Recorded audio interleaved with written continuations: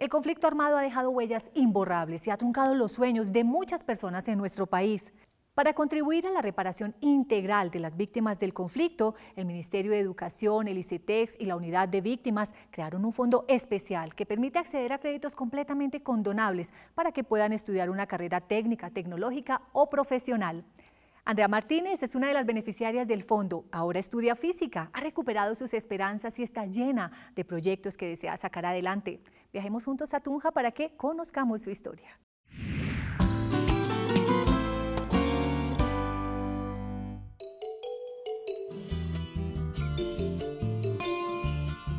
Yo nací en Monterrey, Casanare. Teníamos una finca, allá pasaron cosas muy violentas que nos obligó a irnos al pueblo. Mi papi ya se había retirado del ejército, le habían hecho muchas propuestas para que se fuera a, grupos pues, ilegales. Mi papi pues, no aceptó. Eh, llegaron unos tipos muy de madrugada y empezaron a disparar.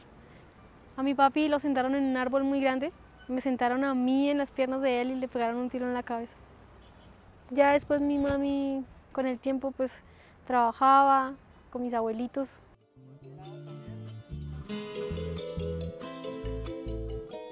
Nosotros con mi mamita nos enteramos del Fondo de Reparación de Víctimas por un comunicado que dio la alcaldía. Eso ayuda muchísimo, muchísimo. Es una manera de, como de ayudar. Yo digo que es una manera de ayudar a los otros pero fue muy chévere porque la sensación de que nos íbamos, le íbamos a ayudar a mi mami fue muy chévere.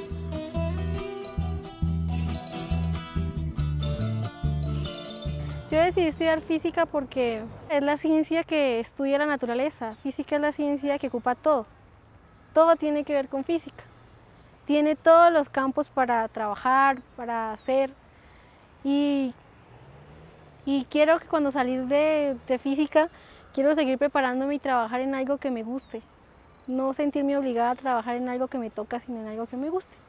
Pues acceder a la educación superior ha sido como una de mis metas, como uno de los logros que ya se está logrando.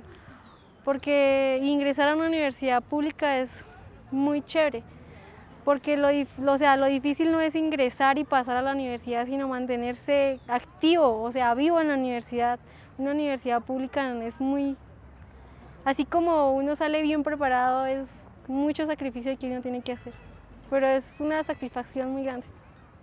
Me parece maravilloso y no solamente maravilloso, sino necesario el hecho de que el Ministerio de Educación tenga un programa como el Fondo de Reparación, en especial con Andrea, una de mis estudiantes, me parece que es una manera de apoyar a las personas que se han visto afectadas en el conflicto de esta guerra colombiana y sobre todo a través de la educación, que es una de las salidas para tener un país mejor. Bueno, Andrea es una estudiante que asiste a clase, que participa, que colabora, que hace preguntas y me parece que ella está aprovechando muy bien este apoyo que le ha brindado el Ministerio de Educación aquí en una universidad pública. Si uno viene acá es con una meta y para lograr esa meta toca hacer muchos sacrificios.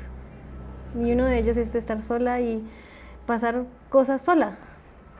Encerrarse un fin de semana sola sin tener a su familia cerca ni a nadie cerca. Pero eso es lo que se corre el riesgo de cuando uno se viene a vivir solo, a enfrentar una meta, a querer perseguir algo. Hola mami. Hola, ¿cómo estás? Bien, mamita, ¿y su merced cómo está? Bien, ¿cómo le ha ido?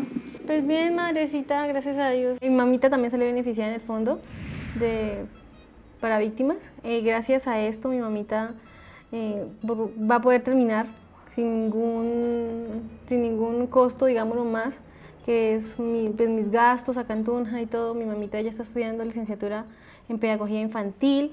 Que yo y mi hija tengamos la oportunidad de de estudiar con el apoyo que nos brinda el Fondo de Reparación de Víctimas es maravilloso porque eh, se motiva a uno de seguir adelante. Es un apoyo grandísimo y es la oportunidad que nos brinda para seguir adelante y para salir adelante y ser personas de bien.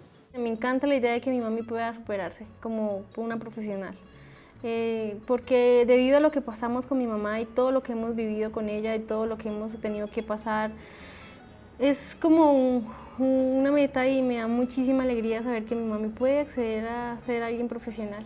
Bueno, yo digo que entre más, entre más estudiemos, entre más educación haya en el país, menos violencia, porque eso hace, eso hace parte de la integridad de una persona, eso lo forma como persona, como eh, en cultura, en todo. Si hubiera más oportunidades de estudio, habrían menos delincuentes en las calles.